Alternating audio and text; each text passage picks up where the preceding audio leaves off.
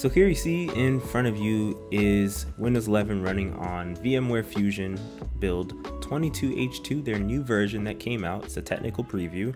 Uh, before when I attempted this uh, video that obviously was taken down but is still up um, elsewhere, you couldn't get a lot of support. Like the display resolution didn't have support. You didn't have the right drivers for it or anything.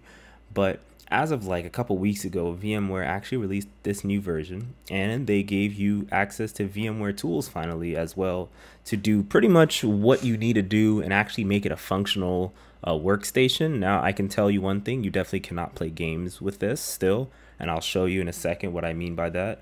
But there were a few quirks that were with it um, that I had to deal with. Um, one was when I was uh, extracting the .sh file, I had to uh, put in some new lines of command line code in order to get that file to get extracted. One, maybe because I didn't remember, or two, just because stuff has changed. Um, but for the most part, the old tutorial that I made long time ago still uh, functions pretty much straightforward, only you have to do less things to get it to work. Now, there is one thing that I will tell you is if I go here to uh, VMware and I go to say my virtual machine library, right? Uh, there's a new function here. If you hit the plus button and you hit new, and then you can see install from disk, create a custom virtual machine. We'll just create a custom one. So there's a new thing here that says Microsoft Windows 11 64-bit ARM. When I tried to test that, and that was this top one right here, I couldn't get it to boot. It showed PXE over whatever the thing that message that usually pops up. It showed that. So I had to resort all the way back to my old method, which was simply creating an other operating system under other 64-bit ARM, and then tweaking the VMX file like my previous tutorial, which I will put a link to um, in the description box so you guys can go to that privately hosted video and look at it as much as you want. Also, another thing that I will tell you with this is that uh, I will be updating the blog post hopefully either by the when the video comes out, by the when this video comes out, or very shortly after so that way you guys can try this out for yourself. Because as far as I tried I could not get this the easy method of so and so uh, to actually work where you just set it up like this. So now let's exit out uh, hit cancel and let's jump into the OS itself. So as you see here I got everything working. In fact if you go up above I believe to virtual machine you see install VMware tools. When you click that button it actually mounts the VMware tools to your file explorer inside your virtual machine and then it'll show up under this PC and you'll see VMware tools there. In fact, let's see what happens if I do it even though I've already done it. So it says here, do you want to connect uh, VMware tools to the installer CD? And if you do that, let's see what pops up. There you go. So this is what pops up and then you see setup.ps1. This is a PowerShell file. So you'll have to open up an elevated PowerShell prompt or just right click and then show more options and then open as uh, I have terminal now, but you got to open up PowerShell to do it. It's pretty straightforward to do that, but again, all of that thing will be updated in the blog post. This is just a showcase that it finally works a lot better than it used to. So hitting exit, you can one thing you can tell by the UI is that it's still very much squared. There's no round corners or anything like that.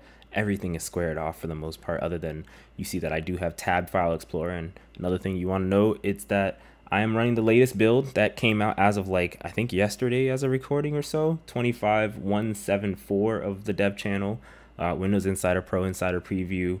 And I'm also running this on macOS Ventura Public Beta 2 so I'm using the latest software compared to the past uh, to do everything. This is the same M1 Mac 8 gigabyte model base model that you can get for like 499 or less um, that I was using before. It's just it works better and everything is so much smoother. Like the frame rate is so much smoother. Everything is smoother.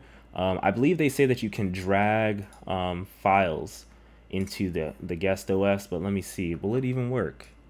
I don't see a way to drag files. Let's see what happens if I copy a file and then I want to hit paste. Will paste even show up at all? I don't think so. No, paste does not work.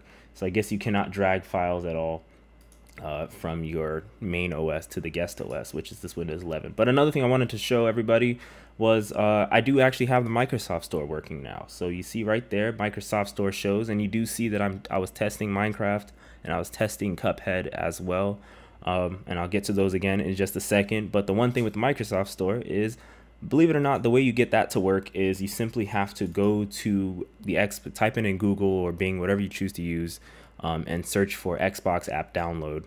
Uh, and then download the Xbox app from Microsoft's website. And once you do that and install it, you'll get this installer, you'll install it, and then you'll have the Xbox app.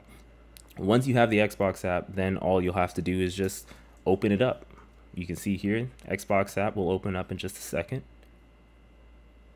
There you go. So the Xbox app opened up. What you will see, and I don't see right now because I've already fixed everything that needs to be fixed, you'll see a big red bar at the bottom here that says you need some more things uh, installed in order to get this to work correctly. Um, and one of those major things is in fact the Microsoft Store. So you see it says here, fix it now, but this is for launching games. I cannot actually launch games and I'll show you an example of that in a second. But what you'll see before this is you'll see that it needs the Microsoft Store. And when you try to, when you click on that button that shows up for you guys, then you will be able to install the Microsoft Store and everything will work perfectly. As you can tell, if I go to the Windows button and then I go to Microsoft Store, it's going to load up the Microsoft Store. That's something that I didn't get to use before either. And I tried the Xbox method as well on the previous video and it did not work. So here, now you can download whatever you need uh, from the Microsoft Store and it'll work like a charm other than games. Uh, it will work like a charm. I haven't tried the mobile games yet, but the, the Xbox titles, the AAA titles, you know, AA titles, those things work flawlessly. Uh, or those do not work at all, um, rather but everything else seems to work well. One quirk that happened before I installed the Microsoft Store, however, is that uh, as you know, Instagram and Spotify and Disney Plus, they are pretty much advertisements. They're not actually installed on the computer just yet. But when you click on it, then they start to install, which gave me a, a hint in my head that, you know, how are these installing? Where are these installing from when the Microsoft Store is not officially there? which means that the drivers for the Microsoft Store were there. It's just we didn't have access to it on ARM, which was weird. So when you click on them, they would install and they'd open like normal. So then it prompted me to continue thinking, let's get into the micro, let's try to figure out how to get into the Microsoft Store. So that works. And then once you install VMware tools as well, uh, if I right click and I hit display settings here, you can see that we do have our own display settings now up to 4K resolution and this this kind of resolution here, whatever this is. But you have up to 4K resolution. I'm not going to click it because the screen is not that big. Um, but you have all the display settings you need. Everything is scaled correctly. Um, and then another thing too, just like the last tutorial, is the internet. The internet works. Um, it doesn't work as easy as VMware claims that it's supposed to work automatically. I had to pull the same strings that I did in the previous video that I did for this, which again is all in the description box. Uh, to get internet worked, it's just typing in a command line code or two of them, and then it works, restarting the computer, and then the internet just works, functions like normal. Um, so that's another thing that's kind of quirky, but it, it works fine once you get it to work. Um, other than that, Windows Update works like a charm. I updated two things already. I think cumulative update and something else, a security package, and that was it. Um, but yeah, overall, it works pretty well. Oh, Lightyear is available. I can watch Lightyear. That's pretty cool. Um, it works pretty well. Now I'm going to try to launch Cuphead. I got an Xbox controller next to me here. It's not going to actually open up past this splash screen right here at all. It'll stay like this till it closes off on its own. And I'm not even going to have you guys wait through this. So I'm just going to hit exit just because I know that it does not work. Um, same thing for Minecraft, a very simple game that works on everything. Minecraft does not actually load at all because there's some issues. Uh, I don't know what the issues are. In fact, I'll leave that one up and then see here it says uh, having trouble installing or launching games, fix it now. It opens up Edge. By the way, I did update Edge. When this update, when this shows up in Edge, I noticed that this link doesn't actually go to anything. This link does not work at all. I tried it on my main PC that's recording this video, and this link that Microsoft's giving does not actually get take you anywhere. It takes you to an error page. It loads almost endlessly, and when it finally finishes, it takes you to an error page. So I don't know what this link is. Um, I'll do some more research and maybe I'll figure it out if I figure it out, I'll make a separate video for this. But overall, you can see here, Minecraft does not load. Uh, in fact, I'll hit exit now. Minimize edge. Everything else, though, works like a charm. You can opt into the insider program. I can do tests for Windows in Windows uh, 11 on ARM uh, on this machine, on this M1 Mac, perfectly. Um, I have the Microsoft Store things installed from the Microsoft Store. Only thing you don't have is rounded corners, and you got to pull some strings to get some of the extra things to work.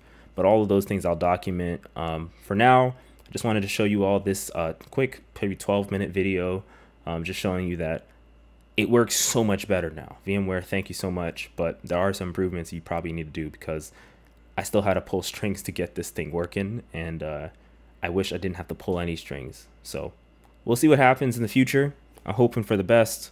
Take care, everybody, and stay tuned for the updated blog post um, for getting this to work for yourselves.